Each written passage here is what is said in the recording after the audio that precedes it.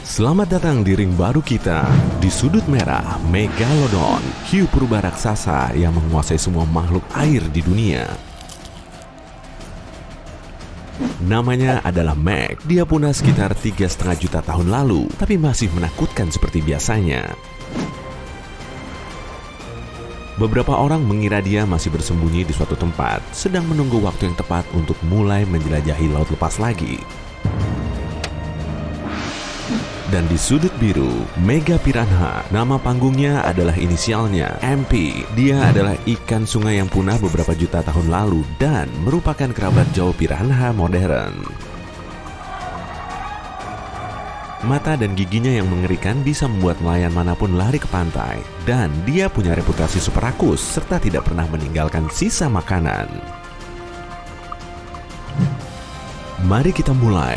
Ronde pertama adalah perbandingan ukuran. Ukuran Megalodon masih banyak diperdebatkan. Sayangnya, sisa-sisa Megalodon yang ditemukan sejauh ini hanyalah gigi raksasa dan potongan tulang belakangnya. Jadi, kita hanya bisa menebak-nebak ukuran aslinya.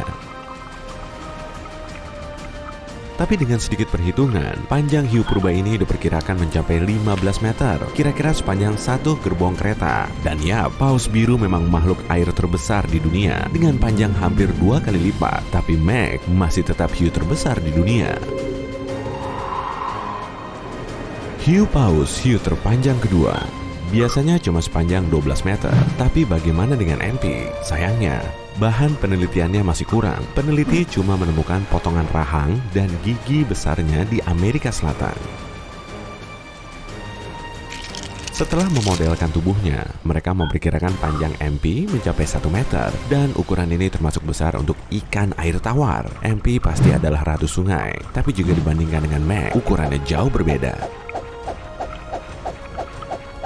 Ukuran Mac hampir 15 kali lebih besar. Jadi, dia memenangkan ronde ini. 1-0. Mari kita lanjut. Ronde berikutnya adalah berat. Oke, ukuran Mac setara gerbong kereta. Itu luar biasa, tapi masih lebih luar biasa beratnya. Berat Mac bisa mencapai 60 ton.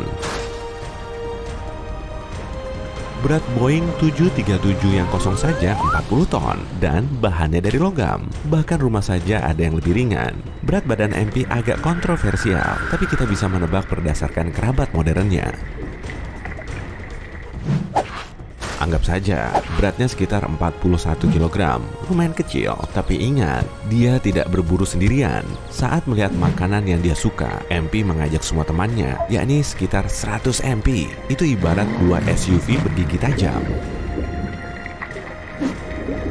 Tapi tetap saja, beratnya masih jauh dari Mac. Mac memimpin 2-0. Kategori berikutnya, lincahan. Otot besar Mac membantunya meluncur di kecepatan 17 km per jam. Ini membuatnya bisa mengejar hewan menarik mana pun di bawah air, tapi di dunia air, Meg tidak memegang rekor kecepatan sama sekali. Ikan layaran punya bentuk spesial yang dirancang untuk satu tujuan, yaitu kecepatan luar biasa yang mencapai 109 km per jam, 6 kali lebih cepat dibandingkan Meg. Meg lebih seperti setumpuk otot yang kuat, tapi tidak terlalu cepat. Selain itu, tubuhnya panjang, sehingga sulit berbalik dengan cepat atau bahkan berhenti. Peneliti memperkirakan bahwa kecepatan MP kurang lebih sama dengan kerabat modernnya, 24-40 km per jam. Dan dia gesit, sepanjang hidupnya, dia terbiasa dengan gerakan tiba-tiba yang cepat. Dan saat bertemu teman-temannya, mereka bergerak menjadi satu kesatuan, mengubah arah dalam sekejap.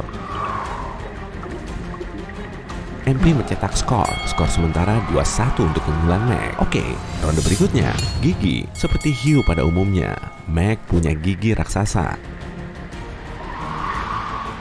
Segitiga dengan panjang 18 cm, gigi terbesar yang pernah ada, dan dia punya 250. Gigi-gigi ini tertata dalam 5 baris dan masing-masingnya tajam. Dia bisa mengoyak sofa kulit baru ibuku dengan mudah. Semua gigi ini cuma punya satu arti, rahang yang sangat besar. Kamu bisa berbaring di sana jika mau. Kamu bahkan bisa memarkir mobil di sana, asalkan sudah rela mobilmu bakal hancur. Saking kuatnya gigitan Mac, dia bisa dengan mudah menembus logam. Tapi gigi MP sama kuatnya dengan gigi Mac. Tentu saja, giginya agak lebih kecil, tapi tetap tajam. Gigi MP tidak tertata dalam barisan, melainkan berpola zigzag. Saat menutup mulutnya, gigi MP menyatu dan membentuk dinding pisau cukur super tajam. MP dan keturunannya punya gigitan terkuat dari semua vertebrata. Tergantung beratnya, dia bisa menggigit sesuatu dengan beban setengah ton. Skor di ronde keempat seri dan Meg memimpin 3-2 ronde bonus. Waktunya fakta menarik. Meg adalah bintang film terkenal dan sering tampil di banyak cerita menakutkan. Setiap kali nelayan melihat bayangan raksasa di bawah air, mereka pasti panik. Meg bisa menghancurkan perahu mereka dengan satu gigitan. Tapi meski ukurannya diketahui, kita masih belum benar-benar tahu seperti apa bentuknya. Makin sempurna untuk citra monster laut misterius. Sebagian besar hiu hidup di air asin, tapi ada beberapa hiu air tawar di dunia. Mereka hidup di sungai besar seperti Amazon atau di danau dan sungai kecil di seluruh Asia. Kulit Meg terasa seperti amplas, layaknya kebanyakan hiu. Semua tonjolan kecil di kulitnya mengarah ke ekor, membantunya meluncur di dalam air. Dia punya dua cara untuk melihat. Dia bisa melihat bentuk dan warna seperti kita, tapi penglihatan malamnya jauh lebih baik. Selain itu, dia punya reseptor elektro khusus. Dia bisa melihat perubahan suhu dan bahkan medan elektromagnetik hewan lain. MP juga lumayan seram. Dia bisa menghabiskan makanannya dalam hitungan menit. Nelayan Amerika Selatan saja takut pada piranha biasa. Bayangkan bagaimana jika mereka bertemu langsung dengan MP. MP bisa juga menjadi bintang film horor populer. Saat piranha dikeluarkan dari air, mereka membuat suara yang sangat aneh, seperti gonggongan anjing. Dan saat piranha saling berdekatan, mereka terdengar seperti burung gagak. Kalian pernah mendengar burung gagak? Ronde ini dimenangkan MP karena dia bisa menggonggong. Keren kan? Tiga sama. Oke, ronde terakhir. Mari kita namai keterampilan makan. MP maju lebih dulu. Taktik utama semua piranha, termasuk MP, adalah mengepung dan menjebak. Mereka menggunakan kecepatan dan kelincahan yang luar biasa untuk mengejutkan ikan tergesit sekalipun. Omong-omong, mereka berburu mangsanya dalam kelompok. Jadi, kalau kamu bisa menghindari satu MP, masih ada 99 lainnya yang menunggu. MP tidak hanya suka ikan kecil, dia dan teman-temannya bisa menghabiskan seluruh prasmanan hidangan laut. Meg mungkin adalah pemburu terhebat sepanjang masa, tapi bukan karena otot atau gigi besarnya. Dia menggunakan otaknya untuk mencari makan. Bukan dengan sembarang pergi ke restoran, dia merencanakan rutenya. Dia tahu ke mana harus menunggu, dia tahu di mana harus menunggu, dan tahu cara mendapatkan makanan yang dia suka. Max suka menyerang mangsanya tepat di titik lemah yang bisa dia lihat, ekor, kepala, atau perut. Setiap mangsa membutuhkan strategi berbeda. Terkadang, Mac bahkan suka menyerang mangsanya dengan menyundulnya. Satu poin lagi untuk Mac, karena menggunakan otaknya, dia memimpin 4-3. Gong sudah dibunyikan, pertarungan final dimulai. Kesempatan terakhir bagi MP. Hiu biasanya tidak hidup di air tawar seperti piranha, tapi karena Max sangat kuat, dia tak gentar sama sekali. MP dan teman-temannya mengintai di bawah, menunggu ikan lezat lewat. Tapi penglihatan Mac super bagus dan mampu melihat mereka bersembunyi di bawah.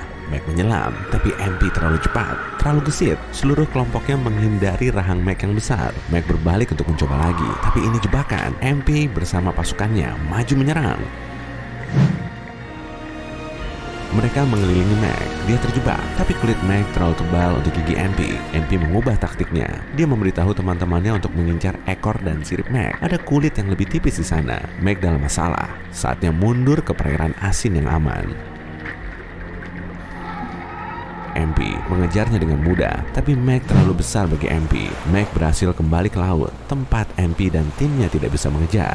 MP memenangkan ronde final. Hasilnya imbang, 4 sama.